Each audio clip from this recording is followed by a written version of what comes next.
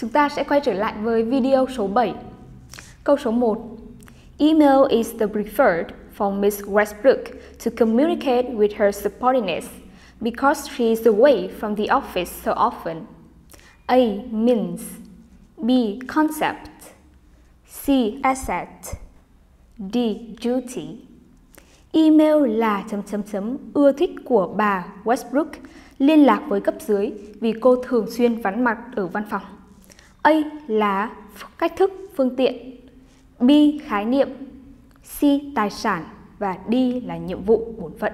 Vậy email thì chỉ có thể là cách thức, là phương tiện liên lạc. Đáp án của chúng ta là A. Các bạn sẽ cùng xem nghĩa của câu này.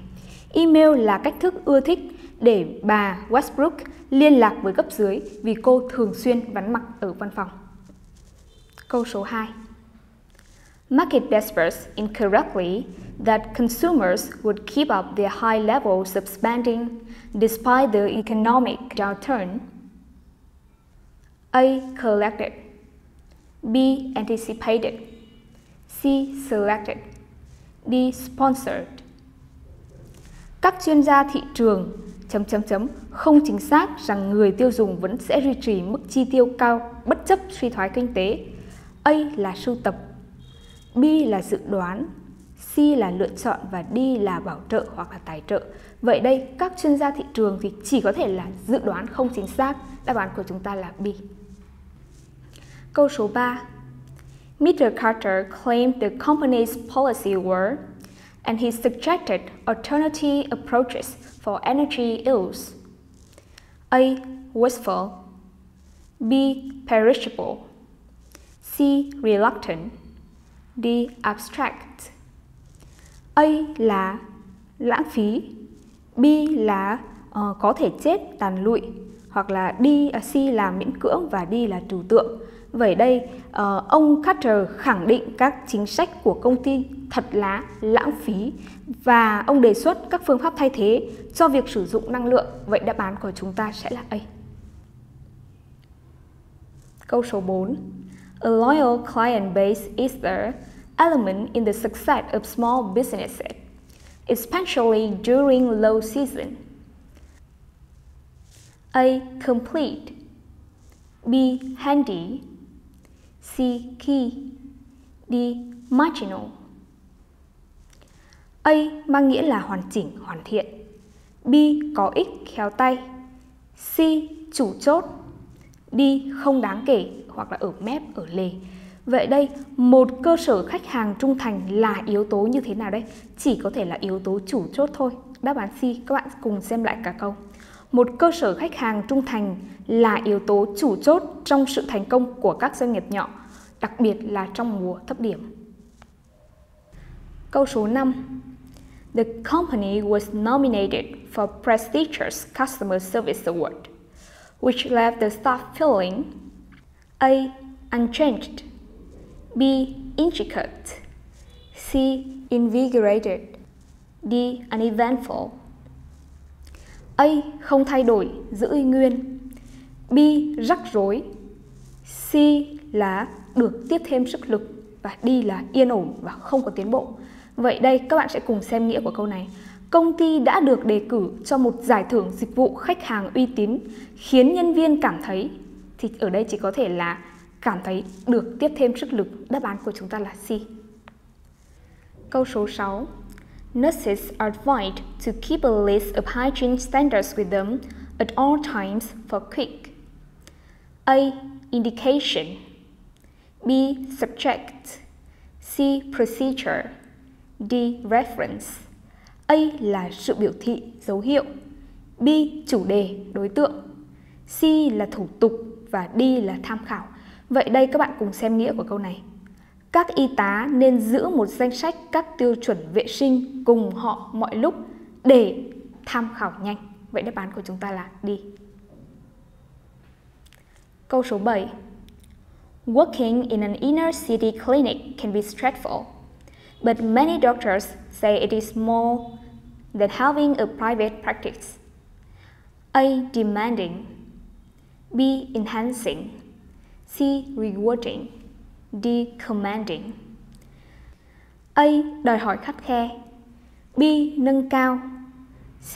Xứng đáng D là chỉ huy, oai vệ hoặc là uy nghi. Các bạn cùng xem nghĩa của câu này. Làm việc trong một phòng khám nội thành có thể rất căng thẳng, nhưng nhiều bác sĩ nói rằng điều đó xứng đáng hơn là việc có một cái phòng khám riêng. Câu số 8. The community center's lecture this Saturday is for residents of Brownville who want to learn more about backyard gardening.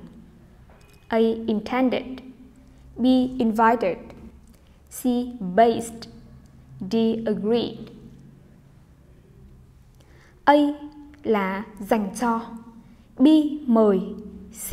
Dựa vào, căn cứ vào D là đồng ý Vậy đây, bài diễn thuyết của Trung tâm Cộng đồng vào thứ bảy này là dành cho những cư dân của Brownsville muốn tìm hiểu thêm về việc làm vườn ở sân sau.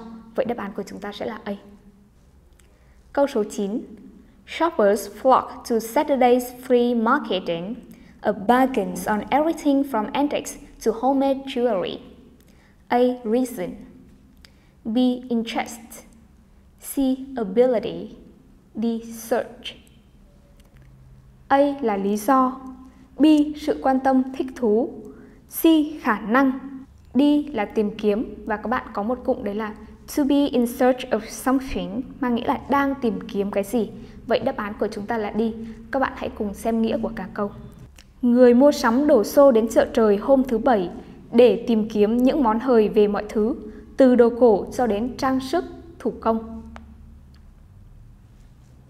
Câu 10. In hopes of avoiding heavy penalties, the Bennett Corporation must be careful not to the conditions and agreements of the contract. A. Violate. B. Interfere. C. Disconnect. D. Grant. A mang nghĩa là vi phạm. B là can thiệp. C. Phân cách, liên kết, ngắt liên kết đi là cấp hoặc là tài trợ. Vậy đây, với hy vọng tránh bị phạt nặng thì tập đoàn Bennett phải cẩn thận để không vi phạm các điều khoản và thỏa thuận trong hợp đồng. Đáp án của chúng ta sẽ là A. Câu số 11. After two months of analysis, officials were confident in approving the medications for human trials. A. Again. B. Almost. C. Seldom. D. Rarely. A là lại lần nữa. B là gần. C là hiếm khi và D là ít khi. Thì ở đây là sau gần 2 tháng phân tích, đáp án của chúng ta sẽ là B. Các bạn cùng xem nghĩa của cả câu. Sau gần 2 tháng phân tích, các cán bộ đã tự tin phê duyệt thuốc cho thử nghiệm trên người. Câu số 12 Please note that vouchers are not valid if used in with other promotional discounts. A. Alignment B. Conjunction C. Relation D. Agreement Chúng ta có A mang nghĩa là thẳng hàng B có một cụm đấy là in conjunction with mang nghĩa là cùng chung hoặc là chung với.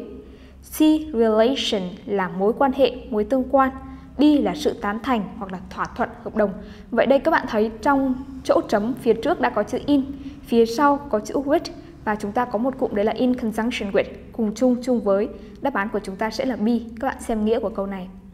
Xin lưu ý rằng những phiếu này không hợp lệ nếu sử dụng cùng với các mã giảm giá khuyến mại khác. Câu số 13. Housing prices have this year, so it is the perfect time to get a good deal on a home. A. Fallen B. Acquired C. Refused D. Performed A là giảm B. Đạt được, giành được C. Từ chối và D. Biểu diễn thì ở đây các bạn thấy phía sau là đây là một cái thời điểm hoàn hảo để có thể có một cái thỏa thuận tốt về nhà ở uh, có một cái giá tốt khi mua nhà thì chỉ có thể là khi mà giá nhà như thế nào ạ? Giá nhà giảm đúng không ạ? Đáp án của chúng ta là A. Các bạn cùng xem nghĩa của câu này. Giá nhà đất đã giảm trong năm nay. Vì vậy, đây là thời điểm hoàn hảo để có được một thỏa thuận tốt về nhà ở. Câu số 14. Analysts agree that there is a for the country to abandon its harsh restrictions on imports. A. Control. B. Look. C. Need. D. Center. A là sự kiểm soát, điều chỉnh. B là nhìn. C là cái điều cần thiết và D là trung tâm. Vậy đây các bạn thấy các nhà phân tích nhất trí rằng nước này cần phải từ bỏ các hạn chế khắt khe đối với hàng nhập khẩu. Đáp án của chúng ta sẽ là C. Câu số 15. The president assured the press that she will announce the cabinet selections by the end of the month. A. Freely. B. Usually. C. Definitely. D. Extremely. A. Tự do thoải mái. B. Thường thường. C là chắc chắn và D là cực kỳ. Vậy đây các bạn thấy là uh, cùng xem nghĩa của câu này nhé. Tổng thống cam đoan với báo chí rằng bà ấy chắc chắn sẽ công bố các lựa chọn nội các của mình vào cuối tháng này. Đấy, vậy đáp án của chúng ta sẽ là C. Vậy là chúng ta đã cùng hoàn thành xong 15 câu từ vựng của video số 7. Bây giờ các bạn hãy cùng xem lại các từ vựng xuất hiện ở trong bài. Means Concept Asset Duty Collect Anticipate Select. Sponsor. Wasteful. Perishable. Reluctant. Abstract, complete, handy, key, marginal, freely, usually, definitely, extremely, unchanged, intricate, invigorated, uneventful, indication, subject, procedure, reference, demand, enhance, reward, command,